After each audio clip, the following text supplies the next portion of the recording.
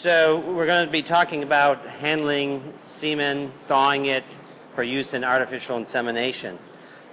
And what we have here is a what we call a straw or a unit of semen. And on each straw is uh, a number which corresponds to the particular bull you're using. In this instance, this is Basin Trendsetter, and his code number is 237. That is the AI stud code that collected him.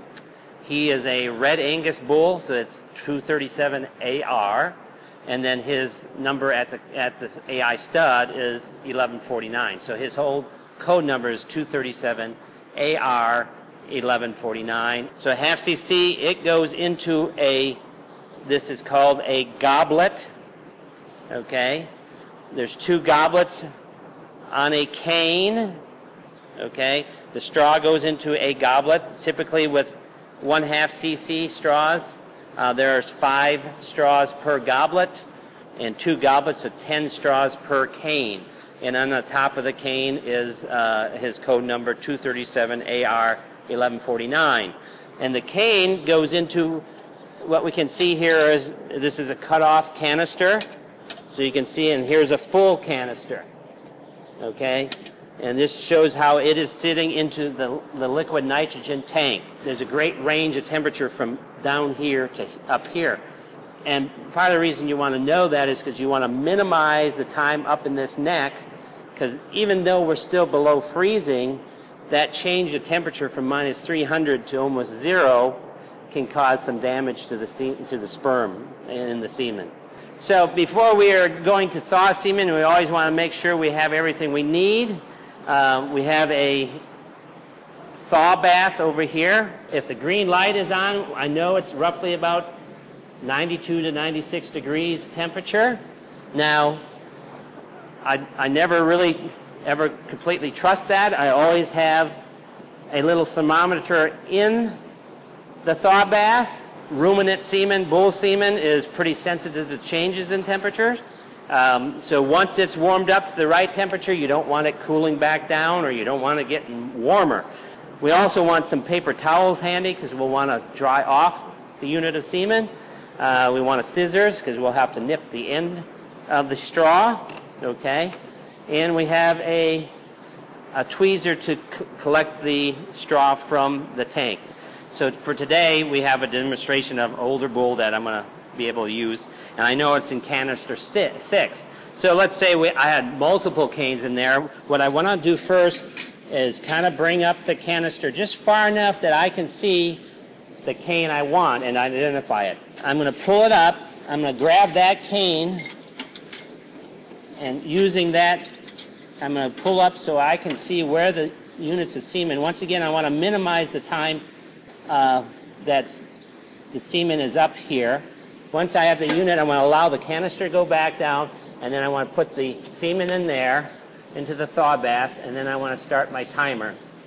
And I want 45 seconds. So I want to get the unit out, and then I want to put this back in place, and then I want to store that back there so I don't lose liquid nitrogen. I want to wait 45 seconds. During that 45 seconds, I can get my sleeve on, so I'm ready to go breed the cow. I'm going to have my paper towel ready to clean, to dry it off. I'm going to have my scissors ready. I'm going to have a sheath ready. Okay. I'm going to use uh, my yellow gun here. I got 45 seconds.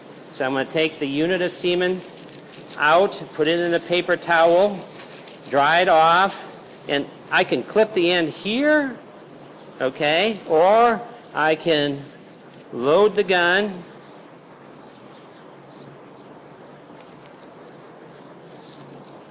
load the gun there, and then clip it.